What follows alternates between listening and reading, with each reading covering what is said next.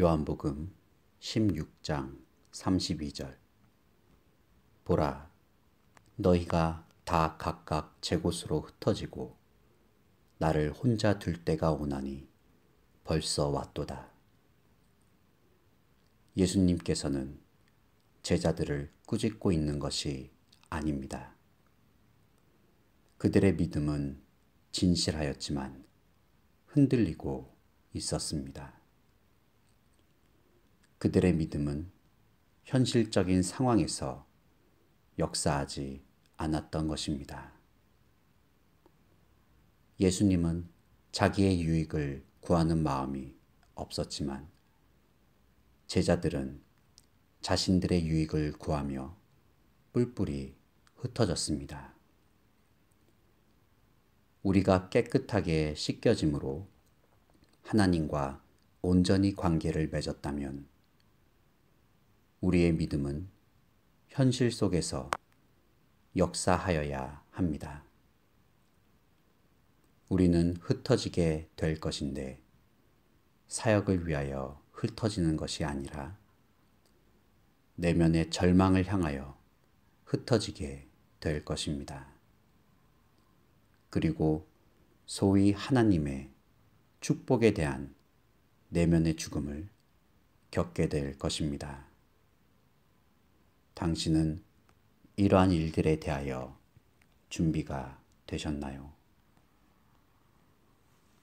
이러한 일들은 우리가 선택하여 발생하는 것은 아니고 하나님께서 우리의 상황을 간섭하셔서 우리로 그 자리에 있게 만드십니다.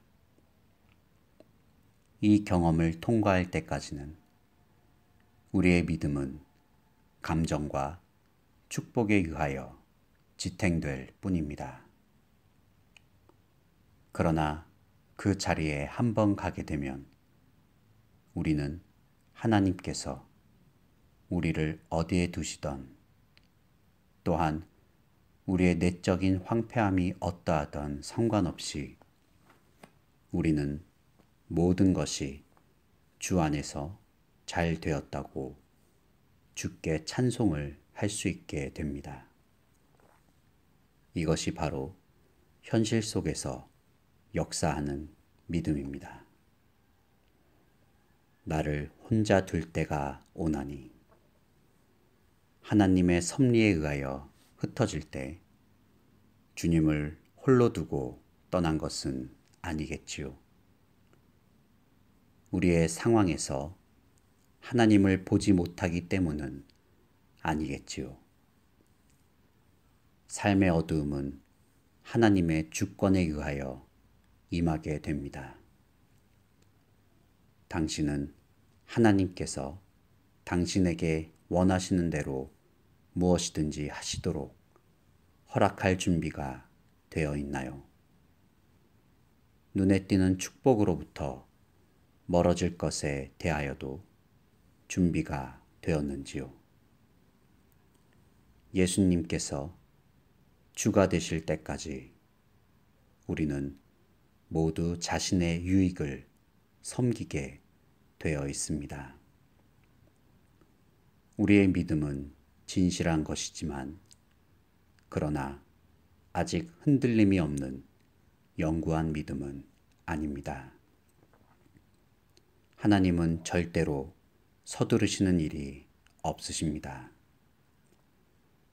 만일 우리가 기다리면 하나님께서는 우리가 하나님 그분보다 하나님의 축복에만 관심이 있다는 사실을 지적하실 것입니다. 하나님의 축복에 이끌리는 믿음은 초보 신앙입니다. 담대하라. 내가 세상을 이기었노라. 우리에게 필요한 것은 영적인 용기입니다.